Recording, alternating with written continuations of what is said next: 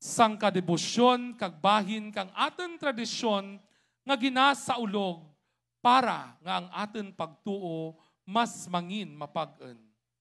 Sa pagtiriringab bilang sangka komunidad, aton karon saksihan ang pagsinadya sa kapistahan nga may dara nga kapag-en kang aton pagtuo kag pagpasalamat sa kabagunaan. Aton abi-abihen kag saksihan ang pagpasundayag kang Tribo Fiesta Flora, Kruhay Tiring Banay, Viva Senyor San Jose.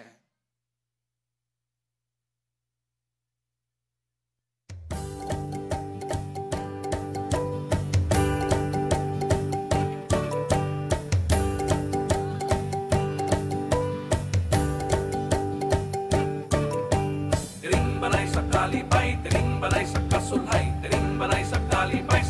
sa pagpinuligay. Tiring balay sa kalipay, tiring balay sa